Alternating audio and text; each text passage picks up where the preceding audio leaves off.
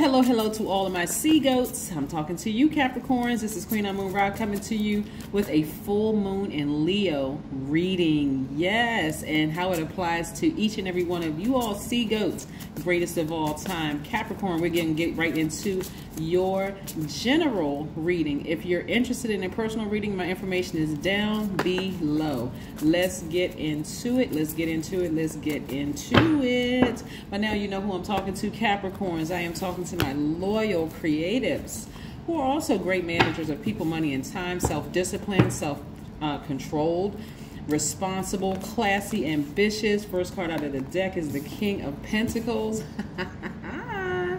very, very nice. All right. A lot of money coming your way, the energy of money, but what do you need to sever ties with in order to make room for it? Somebody's been asking for some things. You got to make room for it. A lot of good things are coming your way. Here we have the Ace of Wands. We have the Lover's card. Mm hmm Somebody been asking for the love of their life. We have the Four of Cups. We have the Queen of Cups. We have the Eight of Pentacles. And we have the King of Pentacles. Yes. So a lot of wonderful things are coming your way, Capricorn, because again, you have persevered, you have worked really, really hard, you've been dedicated to the things that you've been wanting, you know, out of life, and this is wonderful, wonderful, wonderful, right? There's a great opportunity for you to shine your light all over the world, Capricorn. I know somebody's holding their breath like, but what? What what next?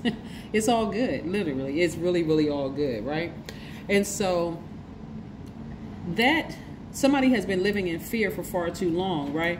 So now it's time for you to balance out your own energies. Like really, really start giving yourselves kudos and attaboys and pats on the back and stop living in fear. This is really about balance, first and foremost. This is about you being your own twin flame, right? Not looking outside of yourself or your twin flame or your better half. This is you being your own twin flame, Capricorn, and doing, because you're all a nurturers, receivers by default. You know that by now if you've been tuned into my channel divine feminine energy, men and women, Capricorns.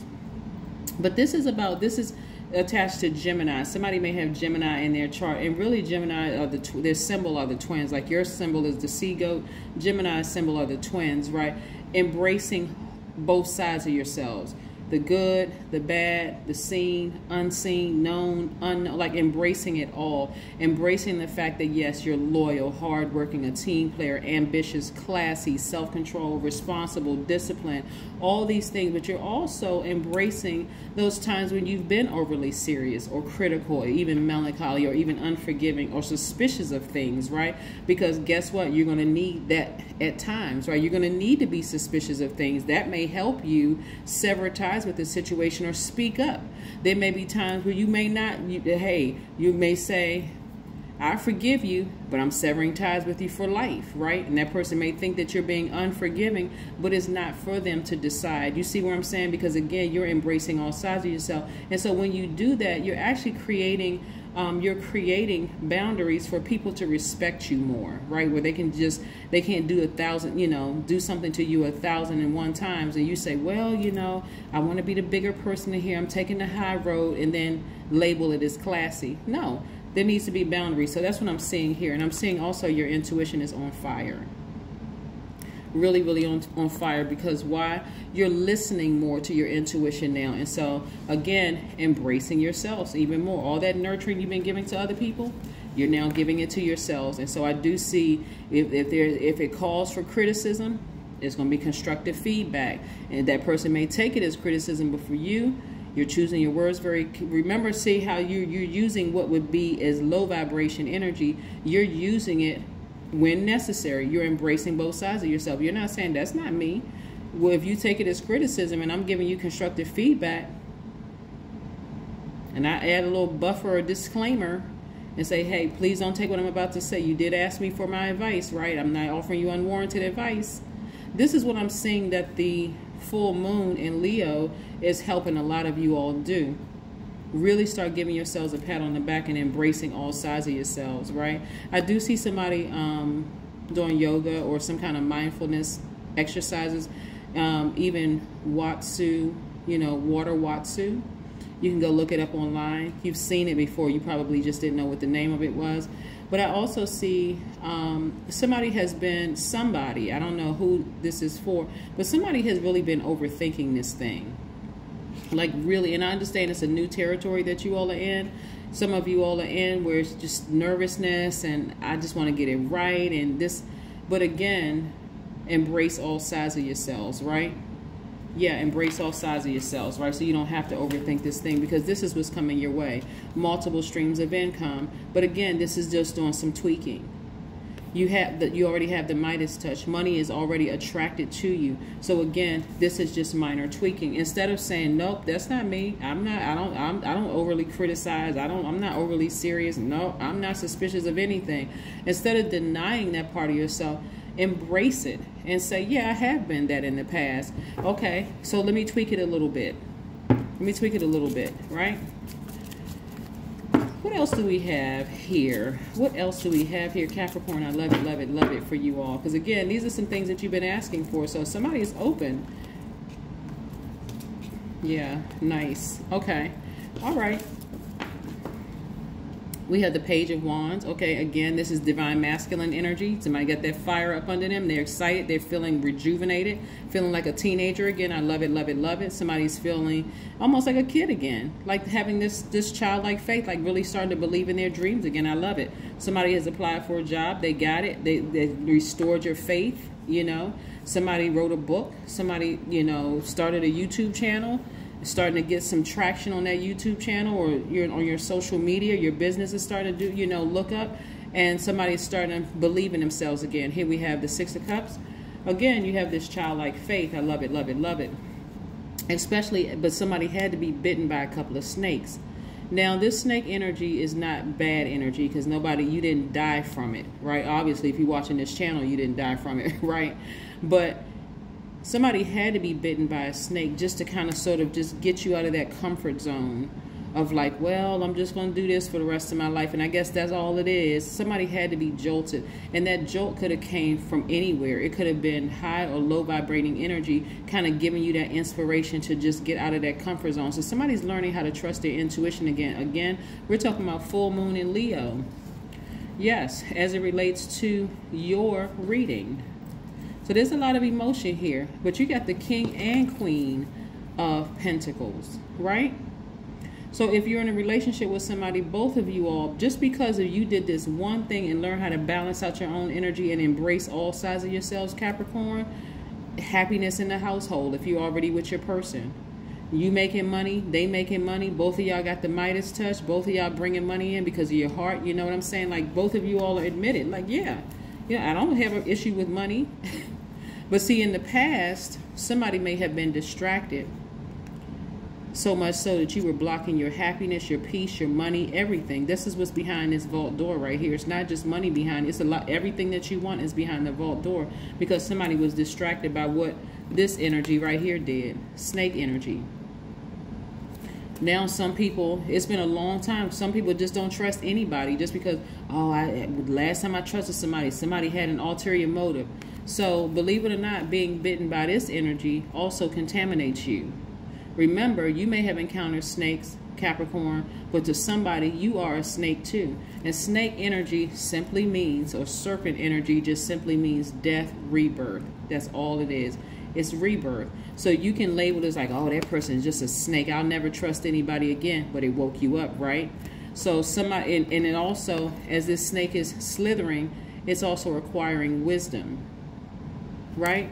So somebody may think that you out, you know, you out thought them or you, you, you know, oh, this person, you know, they, they outsmarted me or whatever the case may be. So again, you're embracing all sides of your, yourselves and also, like I said, using your voice to speak into existence what you want, being more vocal about things so people don't view you as a snake, not in a negative light either.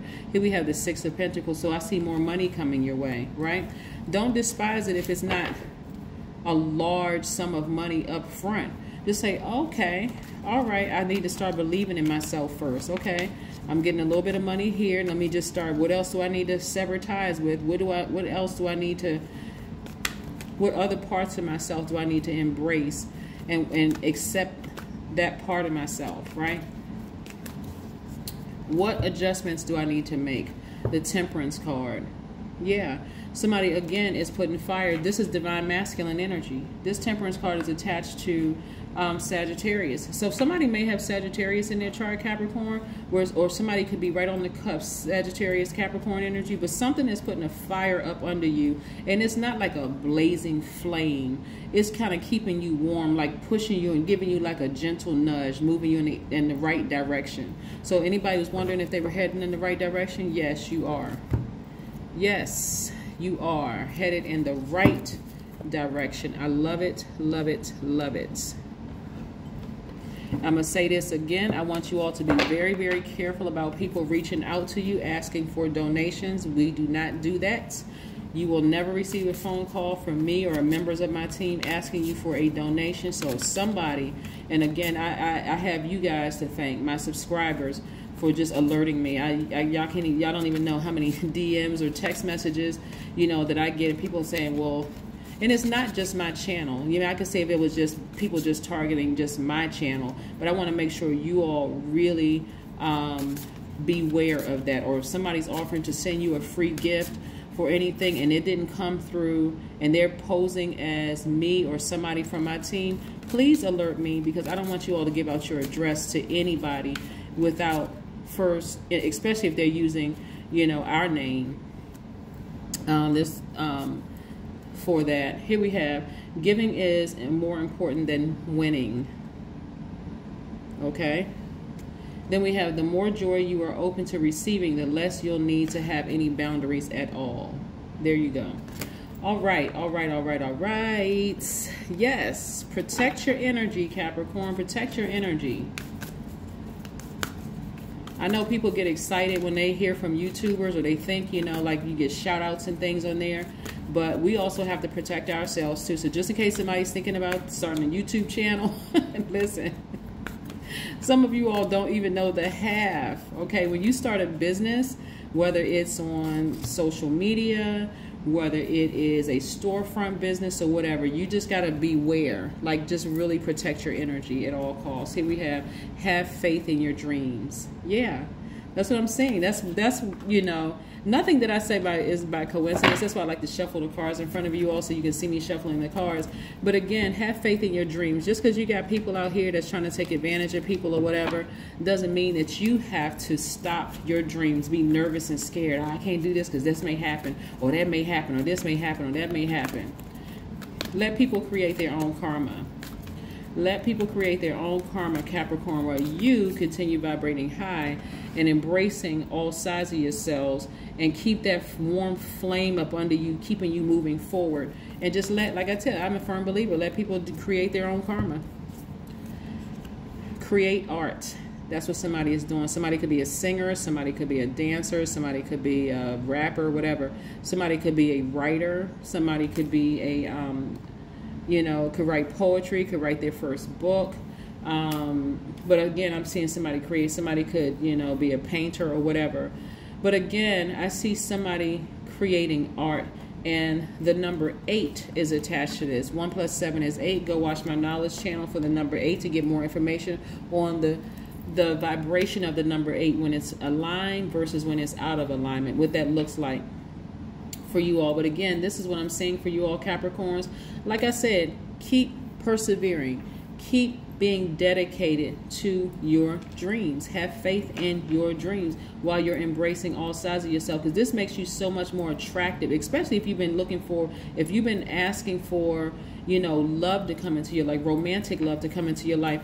Don't go by all the snakes that you've encountered in the past and say, oh, is there any good people out here? Of course there are. You're a good person, right? So now it's time to speak it into existence and, and be, you know, like have more communication. Speak it say it out of your mouth. That is what I have for you. I'll see you in a couple of days. Bye.